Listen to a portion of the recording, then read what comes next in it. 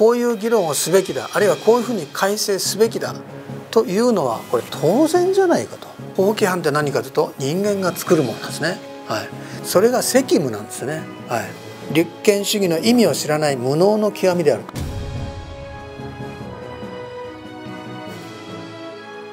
蓮舫さんについて私が、まあ、憲法改正との絡みでね覚えているのは、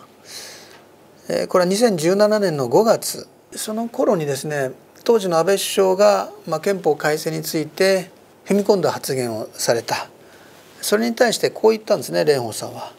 行政府の長が改憲項目に踏み込んだことは立憲主義に反するっていうふうに批判したんですよね。これ私意味が分からなくてですね何言ってんだこの人と。首相や国会議員や内閣やらね憲法については改正する必要があると考えた時にこういう議論をすべきだあるいはこういうふうに改正すべきだというのはこれ当然じゃないかと。何を言ってんだこの人はと。びっくりしました。蓮舫さんの言ったことを蓮舫さんの立場に立って改正すると憲法改正の発議をする権限を持っているのは国会であると。だから国会で議論して国会で発議すればいいんだと。内閣総理大臣や内閣はその発議の権限がないんだから憲法改正について議論すべきではない。立憲主義っていうのは憲法の枠組みの中でやりなさいっていうことになっているんだから憲法で発議権のないものが憲法改正について議論するのは立憲主義に反するんだと。これとんでもない間違いでこれとの関係で立憲主義に反するとすればですね内閣総理大臣がいきなりですよ憲法の規定を無視して国民投票にかけると。直接ね。国会でこれこれこういう決議があれば国民投票に行けますよという憲法の規定があるにもかかわらず内閣総理大臣が勝手に今から国民投票して憲法改正するぞと言えばそういう手続きを行えばこれは立憲主義に反しますよね。間違いなく。憲法の規定を無視して憲法改正をやろうとするわけですから。安倍さんが言ったのはそういう議論をすべきだとそういう方向で改正すべきだという意見を述べたんですよね。はい、立憲主義に一つも反しないんですよね。蓮舫さんもさすがにご存知だと思いますけど憲法っていうのは法規範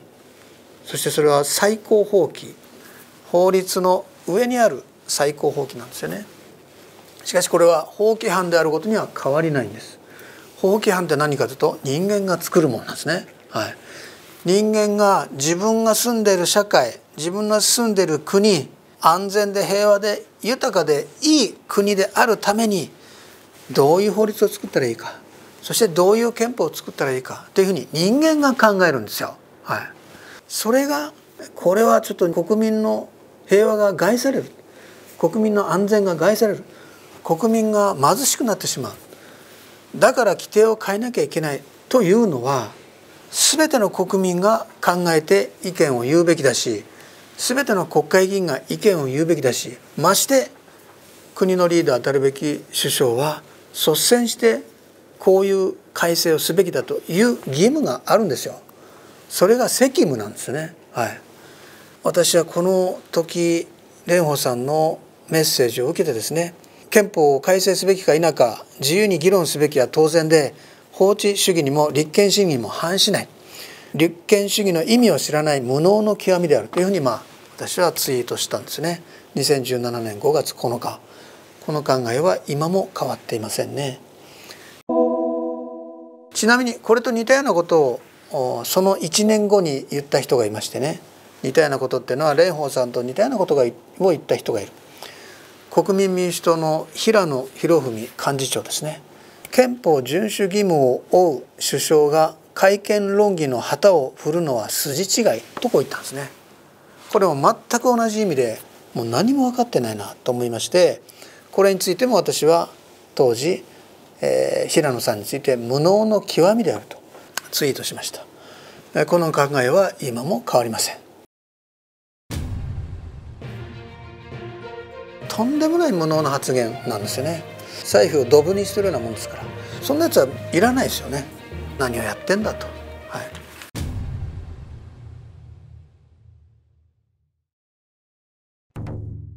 チャンネル登録高評価していただけると励みになります。